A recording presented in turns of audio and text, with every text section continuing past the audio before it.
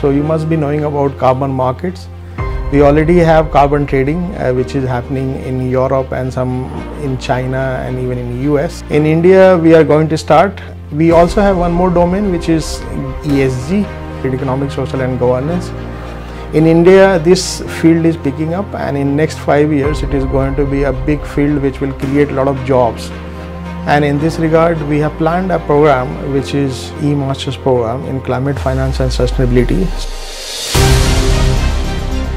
IIT Kanpur is one of the most innovative campuses in India and it also gives you opportunity to interact with wide range of people available on our campus which is the academic pool and in this e-masters we have planned in a such a way that for a, a person who is having very limited idea about finance he can also opt for it and the first quarter it is going to be all building up the idea about finance and also economics and then of course we will be focusing on quantitative method. So second quarter onwards the candidate will have the kick about the climate finance and we will have the broad overview about sustainable finance, climate change. We will also have a dedicated module on carbon trading. We will be trying to understand the emission, emission trading system. Then in quarter three, we will be focusing on ESG, which will talk more about finding out the rules and regulations.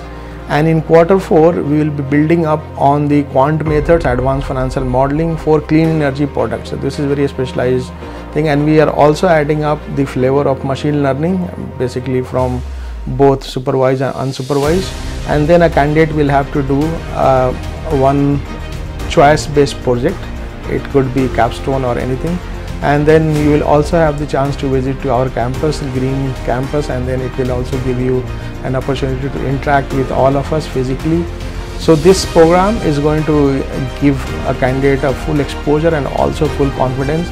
We will have the placement assistance and especially if you are working in this domain then you must be finding out that this domain is going to expand in a big way.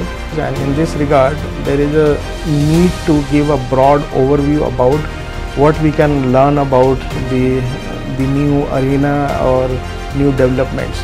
With this, I think uh, it has given you sufficient exposure and thank you.